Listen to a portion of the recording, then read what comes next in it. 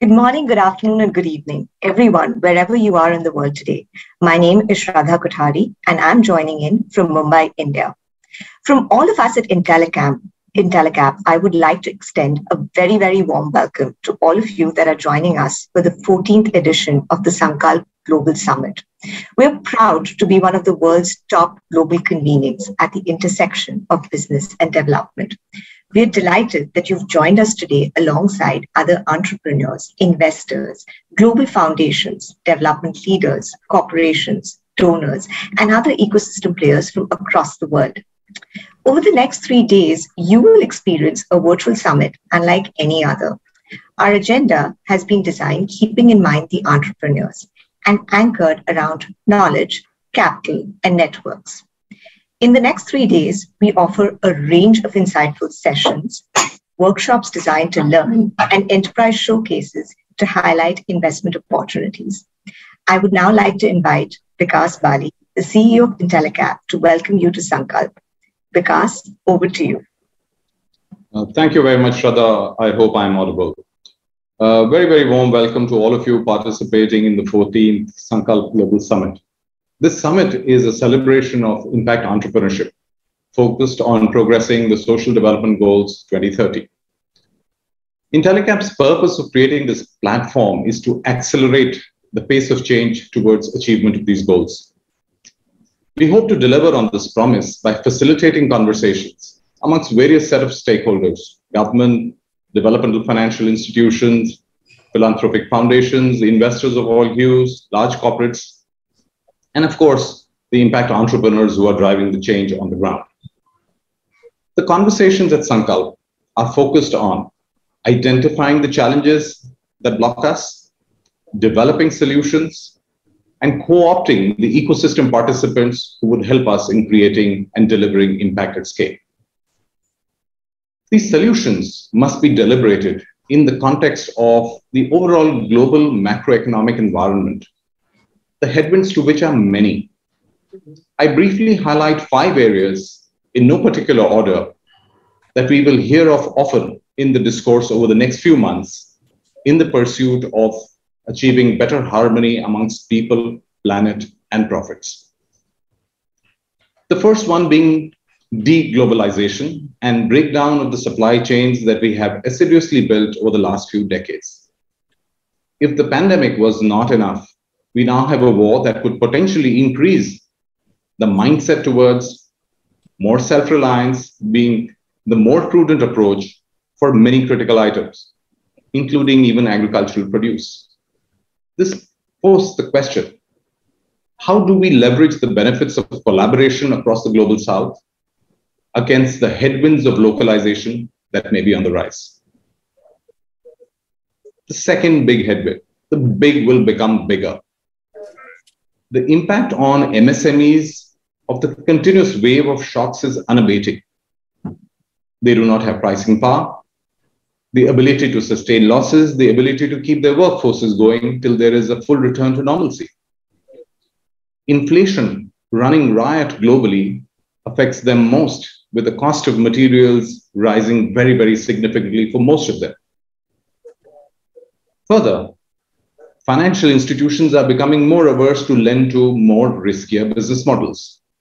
This begs the question how will the governments find the right balance between supporting the MSMEs, who are the bulwark of employment generation, versus the more headline grabbing billions of investments made by a few large transnationals. The third headwind, or dare I say the perfect storm, climate change. No business will be left untouched. I repeat, no business will be left untouched, as all of us will be impacted individually. The events just this year are a clear indication that there is no tomorrow. The scorching heat in Europe, the floods in South Asia, and many more such events. Businesses could potentially see their addressable markets shrink with increased vulnerabilities of their customers. Businesses have to invest substantial capital to make their supply chains net zero while addressing many unknown unknowns about their markets. The question to ponder is how will big business continue to generate value for its shareholders while becoming more valuable for the people and planet? The next big headwind the era of low cost capital since the 2008 meltdown may be coming to a pause.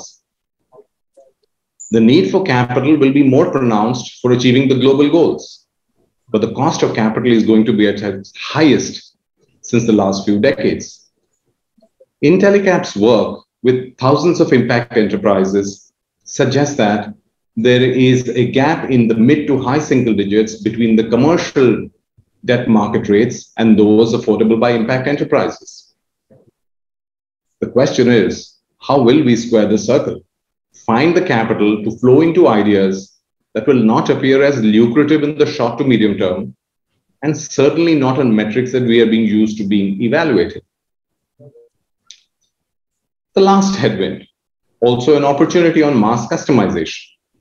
In this information age, businesses have the opportunity to develop products and services for the micro markets. You could offer a product on one side of the road and a different version of it to suit the needs of the customers and consumers on the other side of the road. This requires a fundamental shift in mindset. Do we have it in us to move away from a sales to a solution mindset? That is, instead of selling standardized products and services, to develop solutions which address the needs of the consumers. To throw light on these and other issues, we have assembled an extremely distinguished panel to open the three day summit. They bring the best of government, large private sector, and developmental financial worldview. I'm sure you will find their wisdom enlightening and inspiring all of you to drive change in your spheres of control and influence. Before I hand over the stage to them, I would like to share with all of you Intellicap's learnings accumulated over the past two decades in addressing the developmental challenges.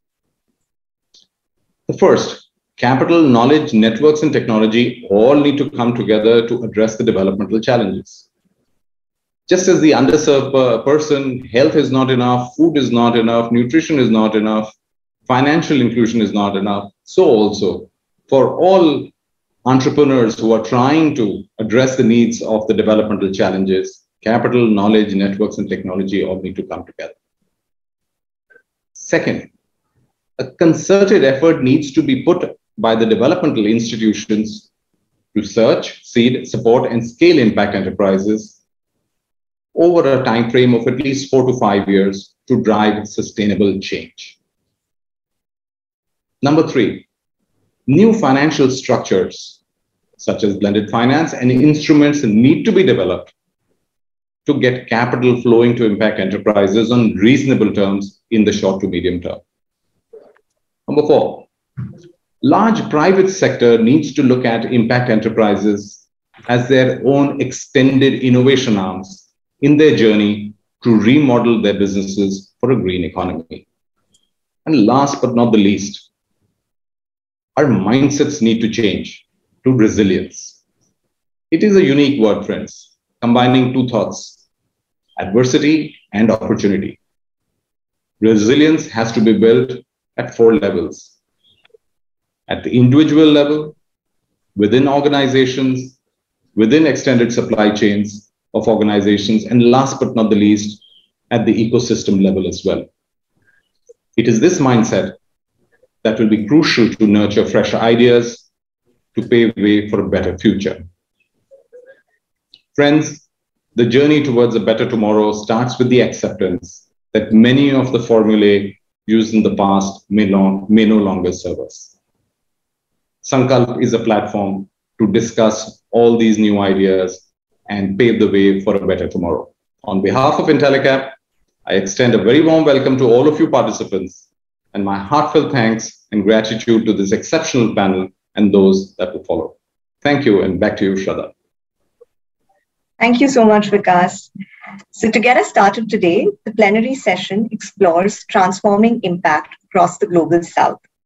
Please join us for this engaging and insightful conversation with Wendy Werner, Sandeep Chakravorty, and Zaved Akhtar. Wendy is the India country head for IFC. Sandeep is the Joint Secretary at India's Ministry of External Affairs. Zaved is the CEO and Managing Director for Unilever Bangladesh. This session will be moderated by Shireen Bhan. Shireen is the Managing Editor for CNBC TV 18. I'll now hand it over to Shireen to get us started. But Shraddha, thanks so much. And uh, what a pleasure it is to join you here at the Sankalp Forum.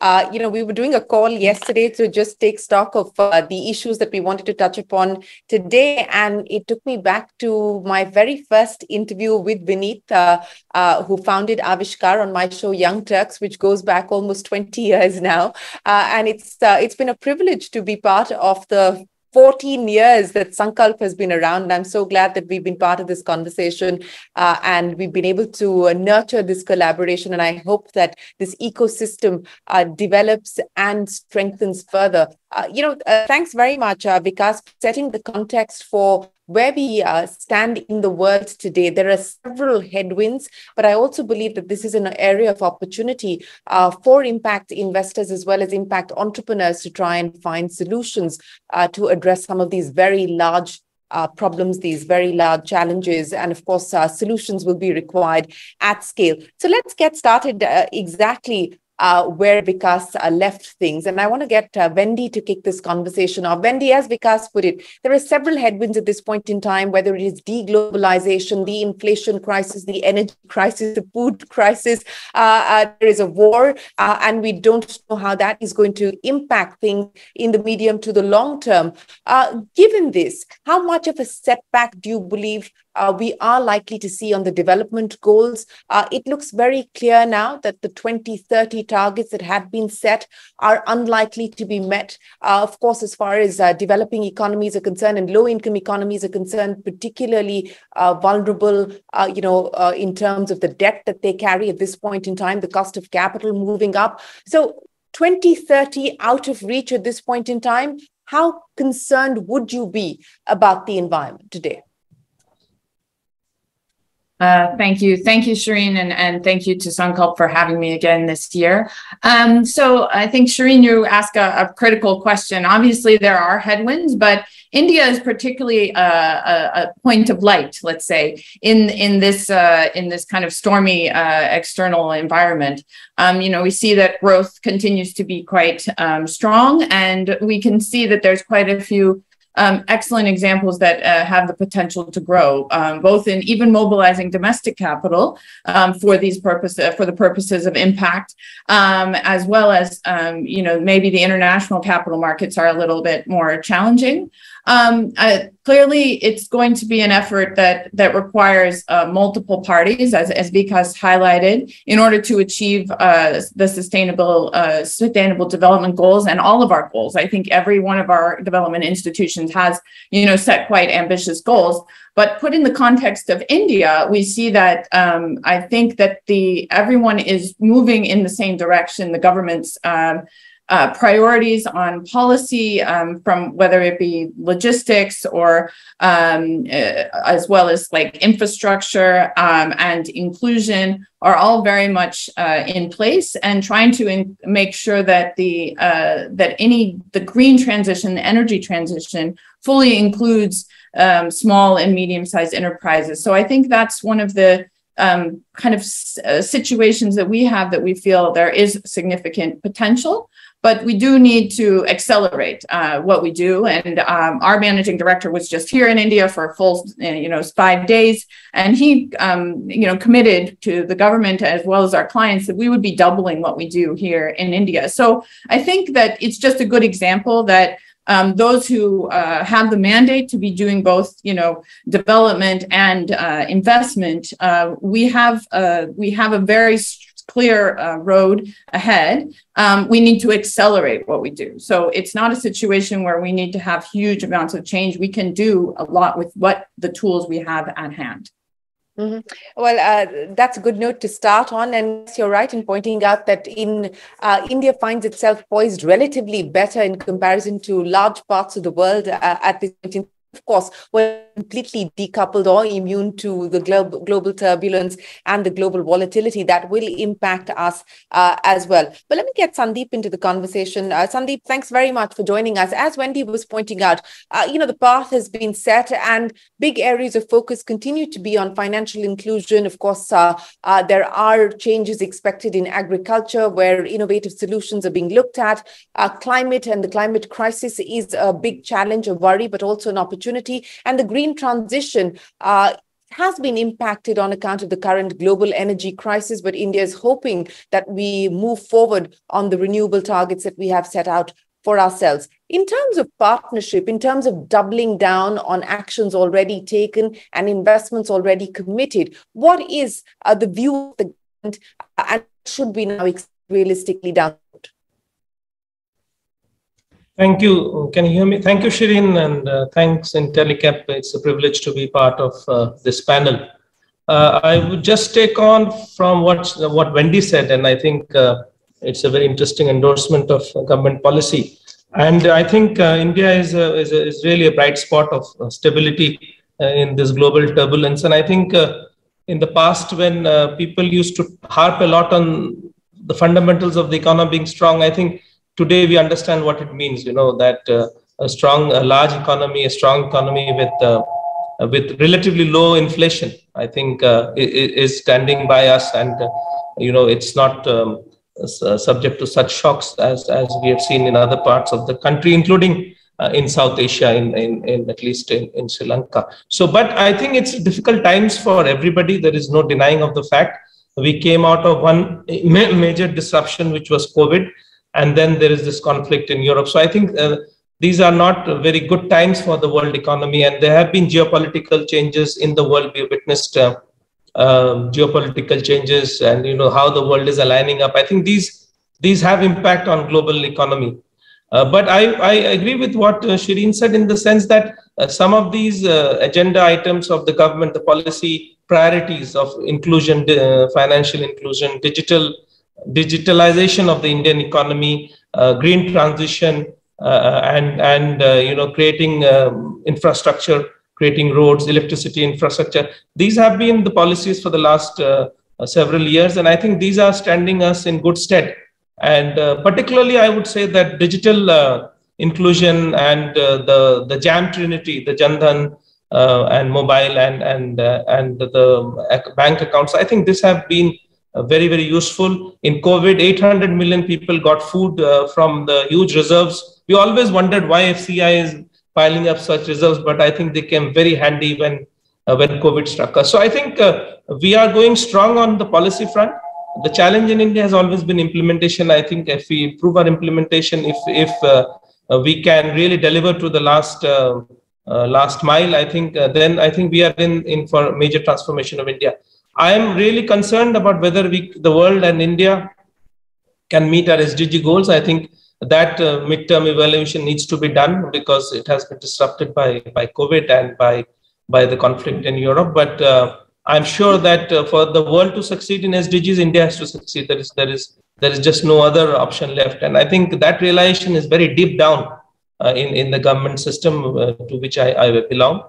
I will uh, uh, finish by mentioning that uh, you know the partnerships that we have India with with the with the developed countries is very strong, and I think in every conversation I deal with Europe, so I will I will mention only Europe.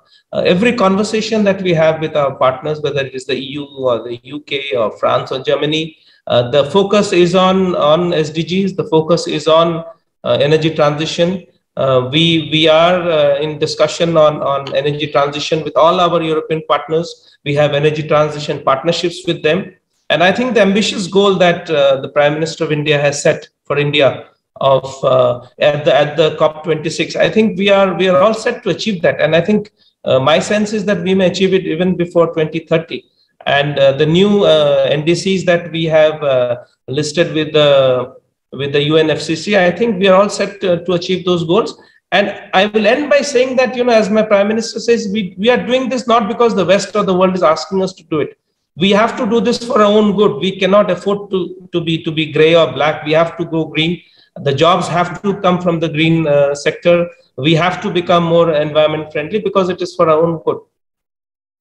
Uh, yes, we absolutely have to go green. It is in our own self interest to do so, as you point out. Uh, uh, and it's interesting uh, that you believe that we should be able to achieve the, the targets that we've set out for ourselves, at least uh, as far as the uh, climate commitments are concerned, ahead of 2030 uh, in terms of the medium term goals. But on the SDGs, I think it's very clear. And I've just come away from uh, the annual Gates Foundation Goalkeepers event, which is a report card of sorts of the Sustainable Development Goals. And it looks very clear at this point in time, given the impact of the pandemic and now the impact of what's happening across Europe with the war, uh, and of course uh, the inflation crisis and the rise of interest rates that uh, that we are very far behind on being able to meet the goals that we had set for ourselves as far as the SDGs are concerned. But let me welcome Javed into the conversation. Javed Akhtar, the CEO and Managing Director of Unilever Bangladesh. Javed, thanks very much for joining us here uh, on this conversation. And I think, uh, you know, as Vikas was pointing out, uh, companies like Unilever uh, have not just believed in addressing the profit question, but also in addressing the purpose question. And as you look at the world today and how it's playing itself out, uh, what can companies, private companies like yours, do in order to further the cause of purpose? And how are you evaluating or re evaluating purpose in this very challenging and volatile environment? Thank you, Shireen. Thank you for the question and thank you for the opportunity to come here today. Uh, in fact, uh, if you, as you said, the context and talk about headwinds, and I think all of us would believe that we are in a perfect storm. This reminds me of Nassim Taleb's book, Anti-Fragile, where you actually have disorder, but that's an opportunity to see what we can gain out of it. And I think this current moment actually look, you, we all need to look at opportunity. I think this gives the confidence of business being a force for good and that's what i think is core and we need more of that to come in uh, because that is what's going to make a huge amount of difference. And let me give you a bit of perspective as well because i think bangladesh is a classic example of having headwinds. 50 years back i don't think any of us would have stood and said that bangladesh should be where it is today.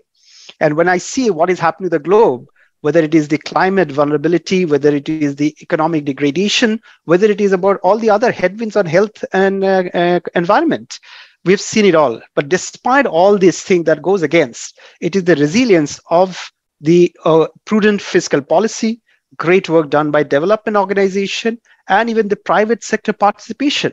Had that not happened, the country wouldn't come to where it is today. And even today, yesterday evening, I was with uh, some of the industry leaders as well and discussing about the country risk and opportunities. And I think there's no doubt there are a lot of headwinds. There's a lot of dependence. But obviously there are new ways of working where business really needs to now step up and start contributing to the direction. Because you're right the sdg goals we might get delayed but i think the direction of travel doesn't change. We need to be committed to it. We need to travel because i think the idea is that we need to achieve. If it's not 2030 it would be 2035 but it doesn't mean that we change our direction we change our goals. We go ahead there will always be headwinds. For instance uh, one of the things that vikas talked about um, deglobalization. The way i refer to it is as redefinition of globalization because today's world it will be a country to country region to region uh, collaboration. And we believe that's where we'll see a lot of things foster and if you can really work around those, please, and make sure private enterprises are also part of it, because uh, and and really starts creating impact.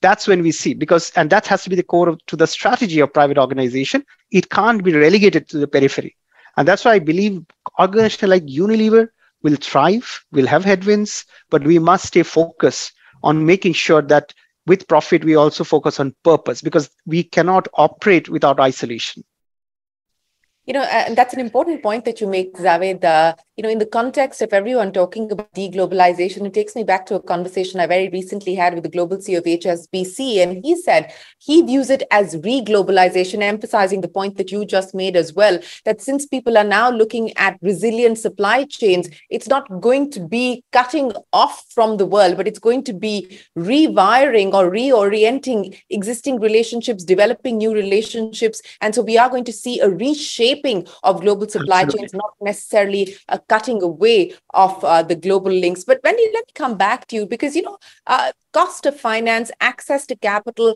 uh, this is going to be the big challenge. And this is also going to be the big uh, important area of focus. Uh, now, what we have seen, as Vikas was already pointing out, is a interest rate trajectory that is only going to move higher. We've got 50 plus central banks across the world at this point in time hiking interest rates. Uh, India uh, is also on the cusp of announcing further rate hikes at the end of this week. So, in terms of access to capital, cost of capital, uh, as well as blended finance, and something that uh, we we touched upon at the start of the conversation, you know, uh, what do you now expect given the headwinds that we financing side and the implications of that uh, in the markets going forward? Great. Um, yeah, of course, I think we do have to be realistic with regard to the direction of travel on overall interest rate environment.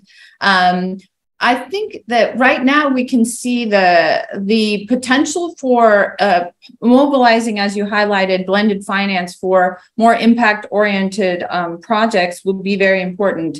Um, and I would say blended finance in a in a maybe a bit of a broader term than what is maybe used in a in a classic definition, because of course we have here in India, we may have some financing that can come from um, international, uh, um, uh, you know, bilateral agreements, as uh, as Sandeepji mentioned. But at the same time, we can utilize also the government's own um, financing and investment that's that's being um, highlighted or, or emphasized towards, um, for instance, subnational financing and city infrastructure. So um, going at this in a smart way that identifies how to um, de-risk projects um, rather than just focusing only on pricing i think is what ifc's experience globally in using blended finance is very um, very critical. So understanding very clearly what is the risk in a project? Is it the offtake? Is it the technology? And focusing one's uh, blended finance or concessionality on the risk that uh, that is there rather than um, you know kind of just a broad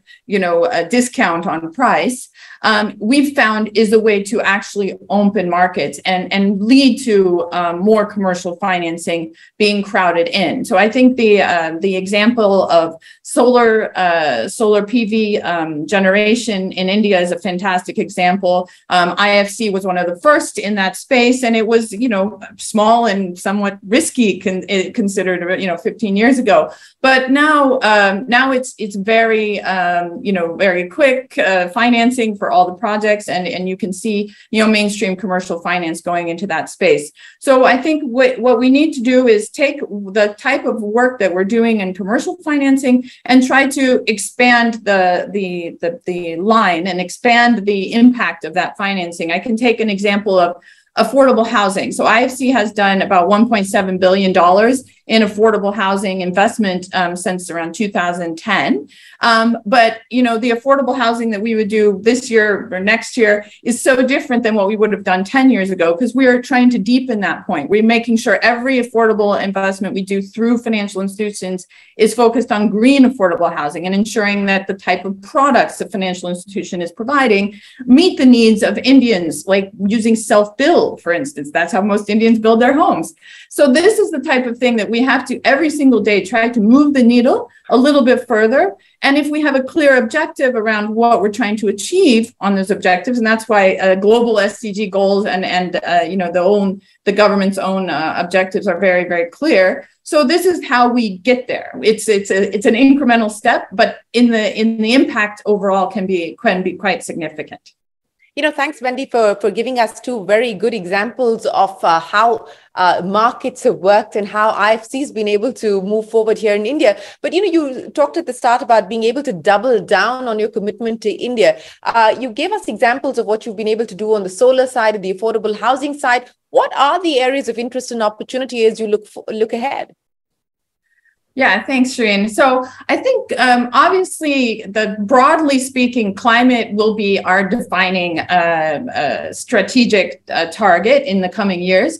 But that really will mean that it is across the board. It, climate has to be, I think, India's, um, you know, defining achievement uh, going forward. And the climate crisis, you know, will be won or lost in probably India's cities, actually, right? So we are looking at how do we make sure that all of our investments um, in manufacturing, in services are aiming to um, extend to second, ter- third tier, fourth, fifth, sixth tier cities, those services. But also every building we, we help finance would be green buildings. And we are looking also at how do we mobilize more private capital, whether it be domestic or international towards urban infrastructure. Um, things like we've done um, like some of the first hybrid uh, annuity models in uh, wastewater and sewage treatment in um, uh, Uttarakhand, in UP. We now want to see that those sorts of models that we can uh, apply in many cities across India. So it's really build off of the experience, but go at scale um, in, in the kind of investment needed for both inclusion and climate. Yeah, uh, uh, and that's uh, again an important point that you uh, make there. Let me get uh, Sandeep uh, into the conversation as well and to take off from where uh, Wendy left us. Uh, uh you know, fiscal space at this point in time uh, is constrained, and that is the challenge that governments across the world uh, are faced with, and hence the need to be able to look at crowding in private capital. you know, this is going to be a fine balancing uh, act, uh, Sandeep. Uh, and I want to understand from you. Uh, give, you talked about the partnerships with Europe. Europe particularly finds itself in a precarious spot at this point in time. So, on the financing side, what are your concerns as well as what could be the potential opportunities and the new ways of being able to uh, crowd in capital, both domestic as well as international? Thank you. Um, you know, we have been talking of uh, of headwinds, but I think uh, I am a trained optimist, so I would also like to bring into the conversation some tailwinds which are uh, in favor of India. And and I think uh, what Wendy is, is, is mentioning is very very encouraging. But I I believe that uh, the signaling we are getting from uh, Europe is that. despite the conflict in, in Europe, the, the, the commitments to climate and energy transition remain and I think that is encouraging. But of course, it has uh, impact on on on the financing rate. I was uh, uh, just told that you know the euro loans, which were almost uh, at 0.5, have uh, now increased to 2.77 or even three percent. Uh, Euribor, Euribor plus uh, 1 or 1.5. So the, the, the financing is, is, is, is becoming costly, but on the other hand, the euro is depreciating. So getting money from, from Europe is actually uh, uh, reasonably cheaper than, than from other sources. So I find that commitment is, is not wavering uh, from the European financial institutions. There is uh, there is great commitment because I think there is also realization that for the world to achieve its uh, climate goals, India has to achieve its climate goals. That linkage is, is very, very, uh, very clear. And, and I think we also need to, to be very sure that the financing commitments that have been made are, are utilized, are, are are uh, put on the ground. And also, there is a capacity issue in India. We need to be able to take the money that is being promised to us and, and uh, go in for green projects. I think uh, some of these new um, ideas that are coming up um, uh, Wendy and you also mentioned blended finance. I, in my um, dreams, never imagined that as a diplomat I will work on blended finance. But you know, at the prodding of uh, my colleagues from from UK and other countries, uh, we have in the External Affairs Ministry set up a fund uh, called uh, Global Innovation Partnership Fund, which will work on um, SDG and climate friendly startups which are in India and take them to third countries, uh, most notably in Africa and in, in the and in the Indo-Pacific. So uh, that fund is now uh, being being created. It will be an alternative investment fund listed with SEBI. we have hired a consultant who is a legal advisor we have an MOU with SBI Venture Capital. So, uh, kind of stuff that uh, you know we are doing in blended finance is absolutely mind-boggling. Uh, the Ministry of Finance, the Ministry of uh, uh, Industry, DPIIT, then MSME, they have these funds which have actually been multiplied several times. You know, the you know small fund is now becoming huge, and I think that's the whole idea. small government intervention then crowds in private investment. And my fund is a small fund uh, it's about 100 million dollars but uh, uh, already some of some friends including Vineet are telling me that you, we can make it five times so uh, that is the hope, you know. So these innovative modeling uh, models of financing were not heard in government circles before, but now everybody is talking about them. I think these are the tailwinds, you know. They they're pushing uh, people to change. They're pushing change across India Uh, they are inviting, uh, we have a very friendly and inviting ecosystem. So foreign partners are coming in. And yesterday I was speaking to my counterpart in Germany, and they said, you know, uh, despite what is happening in Europe, uh, we want to work with India. India is top of the list, and uh, and the, the challenge would be that, as uh, Vikas was saying, that you know the biggest crowding out the small. The the the challenge would be to to look out for the small and and give them the helping hand because the jobs and and social stability will only come from there. And I think in that the MSMEs and the startups have a, have a big role. And not every startup becomes a unicorn and, and whatever con uh, you may mention, but you know those who are, are are not able to do that, those who are not able to generate so much money in the markets, you know, I think uh, we need to look out for them and support them. And I think there is uh, there is uh, there is that realization, and there are funds available.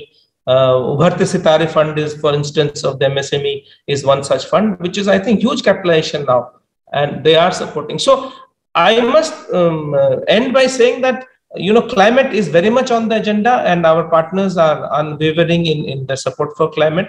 In the in India, uh, we are committed to energy transition. Uh, we have to uh, move away from from dirty fuels to or from fossil fuels to non-fossil fuels. Sometimes there is a difference in understanding of our our challenges, but I think on one page that we are all coinciding is hydrogen. Uh, we have the hydrogen mission, and we are partnering with several countries in in in in, uh, in setting up green hydrogen, in, in green ammonia, exporting green hydrogen, green ammonia, and I think uh, hydrogen will be the talk of the town in the in the in the coming years. And maybe till 2021, nobody spoke about hydrogen. You know, we we we hardly knew what it is, and now you know it has many colors. Uh, well, certainly green hydrogen is the color of the season at this point in time. I think that is clearly the talk of town, and uh, and the government has put out the first installment of the green hydrogen policy. And as you say, that this is going to be a big focus area, uh, and many private companies, large conglomerates, are looking at this as an area of opportunity where India can take the lead. But I just wanted to get a quick clarification from you. This uh, AIF that you spoke of, the corpus is 100 million to start with, and when will it be operational? Yeah, we have just today, I think we have announced the early market uh, uh, engagement for that fund, and uh, it is now going through the through the legal and and uh, and compliance issues. It should be operational early next year early next year. All right. Yeah. So let me uh, address the issue of what the private sector can do uh, by way of either collaborating with stakeholders within this ecosystem, whether it's impact investors or impact entrepreneurs or the startup ecosystem. Uh, of course, in India, we have a mandatory 2% corporate social responsibility clause. So that forces companies to put away a certain part of their profit towards CSR spending every year. Uh, but, you know, take me through what the experience is like in Bangladesh and, and and uh, uh, and what kind of innovations uh, you are looking at as a company within the private sector to be able to engage and collaborate and partner with constituents of this ecosystem. Mm. No, uh, I think a very interesting, and I'll pick up two words. Uh, if you look at this ecosystem, uh, and in terms of really growing and changing the whole economy, from competing, you need to move into something called collaborating, because that's where we will see this grow.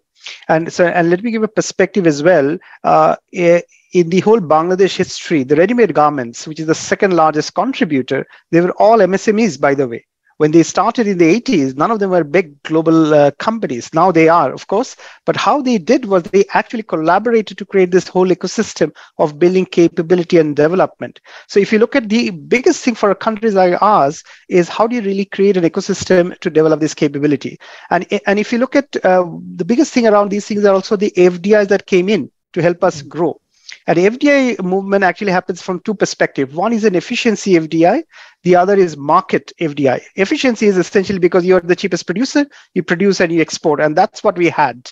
But if I look at the future for Bangladesh, it will not be only efficiency, but it will also be market because there's a large amount of consumption economy that can uh, exist in this country now. And uh, there is a segment of the population which is actually as wealthy as Australia collectively. So you will s- suddenly realize that the opportunity raise. Now, in order to really get into and, and get tapping out the max of it, you need to start collaborating and working with it. For instance, one of the biggest uh, challenges as a country we uh, face is environment. And the whole thing around how do you really manage waste in this country? Now, this country, uh, if you look at consumption waste, it's uh, probably less than 5% to an average uh, individual in the US. But the rate of growth is phenomenally high. So by the time in 2030, when we'll become the ninth largest consumer market, this will become a potential problem. So you need to start working on it. How do you start working today? And what we're trying to do is essentially create an ecosystem with partners where you're able to really collect waste. And the intention today is as Unilever, our plan is uh, by next year, we collect 100% of the plastic that goes to the environment. We collect back. In fact, today we are creating ecosystem of collecting 40%. Now, if you ask me, my ecosystem is not designed to address that. And this is where collaboration starts where organizations actually are partnering with us. Uh, and, and this is where I come of this whole, uh, what Sandeep ji just talked about, our startups and ecosystem. My take on all of these are they have to be businesses. Uh, we call it in a fancy name of startups, and I know there's a whole valuation game, but need to create value for the uh, country. In fact, when you create value for the country, your valuation will automatically go up. And I think that's where complementary uh, happens, uh, complementary work happens. We've actually collaborated with people, uh, unlike in India, where there is actually quite a wide ecosystem and uh, collection. But what we needed to do is formalize many of them. So we've actually started to work with many of these organizations where they have been a great partner uh, and they also learn from us we learn from them and the moment we collaborate we realize that you're able to create the whole ecosystem or for that matter let's say renewable energy for instance, there's an organization uh, that we partner with that helps us to really step up and take up renewable energy within our ecosystem because that's exactly where we need to move into. Uh, as Sandeep we talked about, from fossil fuel, we'll need to get into renewable energy, whichever we end up going into, because the future is always like that. But this whole solution today economically may not exist but the best way to do it is uh, actually how do you collaborate with partners? And when we, and we've seen when you collaborate with partners you're able to solve the problem because as businesses we can identify problems. For instance the, another uh, opportunity is around financial inclusion. Now if you look at how our financial inclusion is set up typically it is set up uh, to finance large amount of loans and credit but when I'm going to go and give it to a small retailer, he requires a very small amount of credit. It's actually insignificant. I cannot have the same check and balance and the same risk profiling that I do for a large uh, investor. So that requires a complete rewiring of our system. And, and I can tell you, we've been collaborating. We've failed as well, where we've gone back to the drawing board. And this is not an easy one to do because what typically will happen because we start with our, our, our sort of established know-how and knowledge and then we obviously trip and fall. But what we really know that there's a huge opportunity. So for me the way i look at it is that in, in order to really see the next 50 years of this country i personally believe many of these organizations uh, will actually play a pivotal role in complementing many of the work that we are doing as a country or as an organization yeah, and you know, valid point that you make there in terms of highlighting uh, the progress that Bangladesh has been able to make, especially in the textile space, in the garment space, particularly, and invite FDI. I mean, every large uh, a foreign player in the garment market is operating in Bangladesh, and uh, that clearly has been a multiplier, both in terms of uh, job creation as well as being able to draw in uh, foreign direct investment. And the point on collaborating with uh, uh, companies uh, in the waste space, in the space of trying to create circular economy and take that forward and i know many large conglomerates who don't have the in-house capabilities are trying to nurture these partnerships and take those partnerships forward. But Wendy,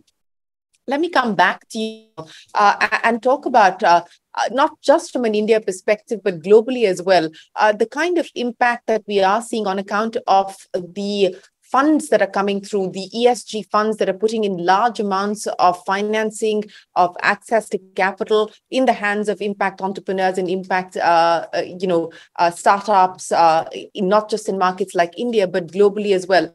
Do you believe that that trend that we've seen accelerate, especially in the past two to three years, through the course of the pandemic, is likely to continue? Yeah, thanks, Jane. Absolutely. I think um, the trend towards ESG and, and green investing is is probably one of the defining characteristics of even the global global capital flows going forward. Uh, quite honestly, um, I mean, from the point of IFC, we've been trying to help make sure that we set standards um, for um, things like green bonds, and particularly looking at, um, you know, again, uh, shifting the the barrier a little bit further to sustainability linked bonds. So that includes not only investment in, in kind of green and climate related, but also in looking at uh, aspects of inclusion, quality work, um, and and diversity in in one's operations. So I think that you know a holistic view, and I think that uh, a holistic view of what a, a, corporation can do to improve the the lives of their employees and their communities um, is really uh, where we see the capital flowing into the future. Um, and including that is uh, another kind of capital instrument that that um, IFC is also backed in East Asia, and we'd like to do some here in, in South Asia. Is also uh, blue bonds, which is related to uh, Zaved Bhai's point around um, circularity and ensuring that plastics and uh, the plastic kind of ecosystem is actually being reused. We're looking at um, how does that impact kind of marine uh, pollution. Um, and this actually is one of the things that is very challenging from a corporate point of view. And I'm sure that, and then we have had, IFC's also had some challenges in being able to invest at scale in this place, in this space. But, you know, we see that blue bonds are, are another um, growth, uh, growth area. And I don't think that that that is going to reverse. I don't think there's a choice, another choice here. Um, we really have to see that all of the infrastructure, the, the new products, whether it be a financial institution or consumer products, have to um, address both the climate impact on kind of, you know, mitigation on energy efficiency and things like that. But also we've seen, um, you know, quite clear prob- problems with things like flooding, fires, etc., right here, you know, in South Asia. And so we need to make sure that our, our buildings and our infrastructure are, are created in a way that's resilient for the for the future challenges to come. And this capital will flow specifically towards that. And so I think across the board, whether it be infrastructure or um, you know large logistics plays. Now we see that most of them are putting a, a separate entity that they're going to ensure is 100% green so that esg fl- funds flow to that green entity. And i imagine that it's just like other other instances that that green entity will continue to grow. Maybe the older uh, brownfield entity will continue to, to shrink and uh, and it will soon all be green. And it must be. There's no there's no real other choice uh, for the world let's hope that we do the world green and blue. Uh, and certainly is the hope, the aspiration at this point in time. And, uh, you know, just uh, looking at some of the numbers which are India specific, uh, and I'd done a show a couple of weeks ago on uh, the impact funding in India. And, uh, you know, it's interesting about 300 impact enterprises raised about $7 billion in 2021. Uh, 62 women founded impact enterprises raised about a billion and a half. Uh, and the funding was mobilized by in, impact enterprises uh, in 2021 went up 135%. So, uh, so that's, that's good news there, and we're hoping this will uh, just uh, accelerate, but uh, uh, you know continue to deepen as well, and and more impact uh, entrepreneurs will get a slice of uh, this pie that that we hope will expand. But Sandeep, let me come back to you now on some of the concerns that have been raised, especially when it comes to the access to finance, not just uh, the domestic capital, but the uh, international capital that's coming in, some concerns around the FCRA clearances or the lack of them. Uh, you know, are, are, those wrinkles that are being ironed out?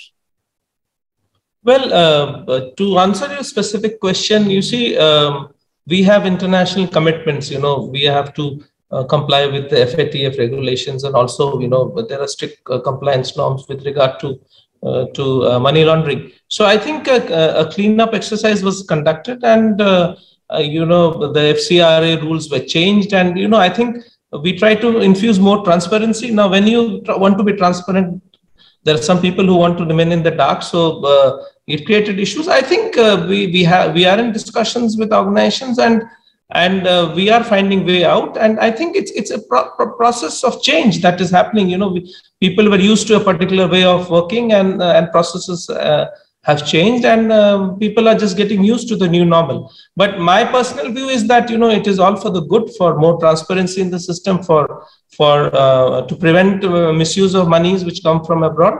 And i think uh, that objective is is important from the national security perspective I would also like to extend uh, uh, what I was saying by, by, by mentioning that, you know, in this transition of India, uh, there is a huge, uh, uh, particularly in the green transition, there's a huge role for international partnerships. And I think uh, Wendy, in a way, epitomizes that. And, and, and also, uh, you know, uh, um, Zaved is, is an example of where we need to partner with, with countries uh, in, in, South Asia. But, uh, you know, some of these uh, initiatives that India took in the last few years, I would mention one of that, which is the International Solar Alliance. Now, um, you know, five, seven years back, uh, everybody talked solar, but, you know, solar panels were not available. Technology was not available. It was very risky uh, to invest in solar projects. And uh, and today it's a very different story. And and some of the credit goes to India for for taking it up at the at the international level. And today the ISA is a, as an international organization is very successful. The first international organization with its secretariat in India. And I think there's something all Indians should be proud of. And again, another example. Uh, Zaved was mentioning about uh, plastics uh, you know, we have banned uh, single-use plastics from July of this year, and we have gone ahead and we have signed an, uh, or we are about to sign an MOU with France that we will work on an internationally enforceable single-use plastic ban across the world, and we're partnering with Spain, uh, with France on that. So this is again, you know, an example of something uh, uh, which we felt in India was good, and then we felt that it was good for the world, and we are partnering with several countries in enforcing a single-use plastic ban in, in the world. So I would uh, reiterate that you know there is great role for international partnerships. There is good, and also in ESG, you see uh, the problem with financing is that sometimes this green finance is not cheaper than than commercial finance. So you know you you want us to go green, but then your interest rates are high. If green financing is available uh, at at uh, a few hundred basis point less than commercial borrowing, you will find a lot of enterprises in India going green, taking money and and and you know uh, sequestering carbon or uh, reducing carbon emission. And you know, uh, but but I I know that it's not easy to get green money, uh, although uh, the there are very strict conditions and. You know, I think uh, something tailor-made for Indian conditions needs to come up, and there should be India-specific green funds, which which our companies should be able to access well, India specific funds is the ask there from Sandeep. But, uh, you know, very interesting uh, uh, aspect that you raised that India uh, intends to take lead in terms of ensuring that we see a single use plastic ban across the world. And you gave us an example of the negotiations and conversations that are on with France to that forward. So let me just use this opportunity to ask you uh, about how we intend to use the G20 presidency and that platform uh, as India takes the G20 presidency next year to be able to take some of these uh, targets, some of these goals that we've just talked about forward. What could be the big ideas uh, that we take the lead on uh, as we take on the G20 presidency? I think uh, the G20 presidency will, uh, uh, when India takes over later this year, will focus on some of these issues very much. You know, and uh, one one of our objectives would be to to have a have a more sustained discussion on on what Prime Minister called life, that lifestyle for for the environment. You know that we cannot afford to have such a uh, high consuming kind of lifestyle which is so degrading for the environment and expect that the environmental challenges will be sorted out. It's not possible. So uh, you know we need to need to work on a lifestyle. We need to conserve more. We need to uh, spend less on ourselves and and take care of, of the nature. So I think it will be a very inclusive agenda. It will talk of digital uh, inclusion. It will talk of environment. It will talk of you know how uh, to partner uh, with other countries how to uh, to focus efforts for the global south so i think our uh, g20 agenda is very environment friendly and development and, and and south friendly. I think that, that is what we bring to the table. And if you see the uh, the invited list uh, bangladesh has been invited to, to the to the summit and and many other developing countries. So i think uh, our our focus and our objectives are, are very clear from the from the beginning. Right. Uh, Zaved, uh, you know, one of the challenges that uh, I know uh, large corporations like Unilever are faced with uh, is that there is a lack of harmonization or uniformity uh, of standards, of ESG metrics, of ESG norms. Uh, and I know that there is an effort to move towards that. Uh, we have, of course, now got benchmarks in place, whether it's what the World Economic Forum has put together in association with uh, the Big Four and other such metrics. Are we moving now to a more harmonized, easier to do business world when we talk about uh, ESG goals? Uh, that's a very interesting question. And incidentally, uh, one of the government arm, Access to Information, which is part of the Prime Minister's office, actually reached out to Unilever Bangladesh asking that can we help them put together an ESG framework. And as you rightly said, I think now there is a framework because when he started the journey um, a couple of decades back, we were designing as you went. But I now believe that globally, the business case for ESG is very clear. Uh, I don't think there's any debate about it. And I think the point being the right kind of framework. And what will happen is once we have a framework, different people will be in different spaces of this journey because some of us will be beginning of the journey some might be a bit more advanced and mature on it but i personally believe that uh, creating a framework will actually uh, help guide the business community and this is something that uh, i'm also part of the foreign investors chamber and industries in, in Bangladesh as well. And one of the uh, thing I lead is sustainability agenda as well. And that's also part of this. So we will actually get the industry to start and then collaborate with the local chambers to really create a framework. And, and once you create, you also realize that based on the country needs and requirements, some of these things you need to dial up a bit more environment and climate being a critical one for Bangladesh, because for the 2041 vision that we have got in the country, that will be a critical enabler. So personally, I think uh, we don't necessarily need to reinvent the wheel. There's enough resources available. And in fact, uh, what Sandeep ji has talked about, many of the uh, initiatives that we have done in Bangladesh has been picked up from the work on plastic that was done by CII and uh, FICCI India as well because they collectively they've actually done a lot of work a lot of work has been triggered by our operation in india as well and and i think the question is how do you really pick up faster and quicker and collaboration spaces like G20 only enables us to really transmit the knowledge that we have. Mm. Because I, I, personally believe over the next uh, 40, 50 years, the power of changing the agenda on climate will be more on the global south because we will be the point trigger point to change and, and take it to the new level uh, because it is onus will be on all of us collectively to really push the needle here. Yes, uh, the onus is on collective action, and uh, we're pretty much out of time on our, on our conversations. Let me end by asking each one of you, since we are talking about transformational change and transformational impact. Wendy, let me start by asking you, uh, you know, specifically for IFC uh, in this region, the, the biggest focus area to create the kind of transformational change and transformational impact uh, that we aspire for. So I think for us, um, marrying the climate agenda and you know the details of what we do and what we finance and the partners we work with, with the need that this is an inclusive agenda, that this transition is fully inclusive of MSMEs. They have the technology, they have the finance, um, they have the uh, access to markets in order to fully participate in that. And a final point that I just wanted to highlight that I think is, is extraordinarily important particularly for India, but I mean, it's a global issue, is also on the inclusion agenda. We need to make sure that, you know, for instance, uh, women fully are included in, in this transition as well. And, and, you know, labor force participation in India by women has, has fallen under 20%. And this is a real challenge. So there's an opportunity that both the small, medium enterprises and women can be really integrated into this transition. Um, but for us, it's all about that integration and inclusion towards uh, the, the greener future that we mentioned before. Well, thank you very much for highlighting the need for more gender balanced uh, uh, recovery, not just for India, but for the world as well, but particularly for India, where we have seen, as you point out, a drop in uh, the women's uh, participation in the labor force. And I, I hope we, we reverse that uh, uh, but Sandeep, you know, let me let me give you closing comments as well. Uh, you know, the, the single biggest area of focus uh, to create transformational change and impact.